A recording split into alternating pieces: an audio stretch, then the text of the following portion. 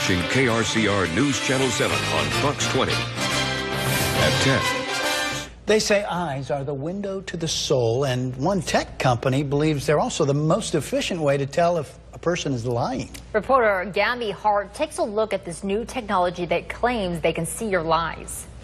A new form of lie detection claims it can see the truth. There are markers in the eyes that um, are able to accurately determine if an individual is being deceptive. Neil Harris is the vice president of Converus, the company that created this new technology called EyeDetect. It uses only the eyes to determine if a person is lying. When uh, a human being is being deceptive, that there are these microdilations of the pupils. Only taking 30 minutes to complete, this new testing technology could be faster and more efficient than the old school polygraph. Its creators argue that EyeDetect may have the edge because it isn't influenced by any human bias. Big time technology company Apple has taken notice of EyeDetect. Apple purchased the sensor technology that's used to calibrate and read the eyes.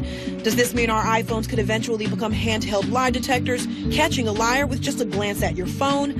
Well, that's up to Apple to decide. I think it's the age old argument of man against the machine. Ron Slay is a security consultant who administers polygraph exams. He says in his 40 years of experience, he's seen all forms of deception. And he thinks it takes more than a computer system and answering a few questions to detect a lie. You can't automate the human mind. We wanted to put both methods to the test, so I sat down to see which machine would best read my lie. I'm in the hot seat. First, we put the standard polygraph to the test. Slay asked me two questions that were simple enough to answer honestly. Now, I want everybody to watch the blue line. Is today Tuesday? Yes. But before he even finished asking me the third question, At work, did you ever look at a boss with sincere eyes when you knew the reaction is already over? It took off and it's barely coming back again.